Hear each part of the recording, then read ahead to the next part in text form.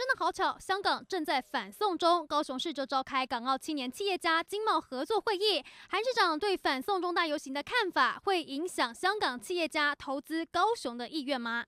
我觉得其实问题不大，因为他终究不是香港人嘛。嗯，然后香港人自己有自己的啊想法啊，然后如果是投资，如果这个机会啊在这的话，香港人也不会犹豫的。但第一就是高雄投资环境，因为呃，像房价跟工资比台北比较。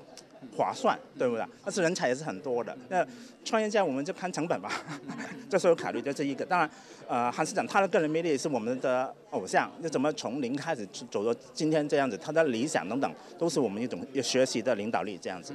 敏感的反送中事件，香港企业家们静观其变。毕竟创造利益才是眼前最重要的。而他们看中高雄，韩市长乐观其成，帮高雄青年朋友多交一些外面的朋友。然后港澳的这些跟高雄结合起来，我想未来对高雄青年朋友的创业，还有视野，还有对外面的一些资源的结合，应该会有多多少少一点帮助。所以像这种活动，我们非常乐意的来办。想为高雄创造投资机会，不过韩国瑜已经宣布参选总统，政治经济不再能够切割。敏感的香港反送中话题牵动两岸关系，韩国瑜开口前必须仔细衡量。华语新闻林威凯、黄运成高雄报道。